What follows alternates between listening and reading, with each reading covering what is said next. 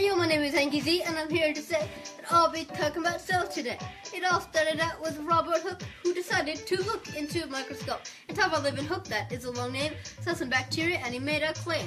Schwann and Schleiden, who were just jury, got together and made the cell theory. I'm rapping about cells, I hope it rings a bell. I'm rapping about cells, I hope it rings a bell. Hooke saw the parts of a cell and Eureka he yelled. The cell membrane is very key because it controls what enters and leaves. The lysosomes, they break down food, which will be later chewed. Ribosomes are small, but the role is tall. They're like machines producing proteins. I'm rapping about cells, I hope it rings a bell. Another important part, which shouldn't be shown, the Golgi bodies are number one. They receive things through the reticulum and send them away until it's done. The endoplasmic reticulum is part of our curriculum, and it's important to us because it's like a bus. To the Golgis, it delivers stuff.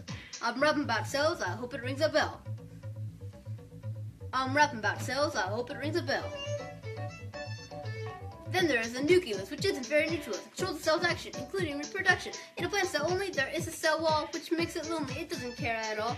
Vacuoles store food and water. In a plant cell, it's broader than their animal brothers. I'm rapping about cells, I hope it rings a bell.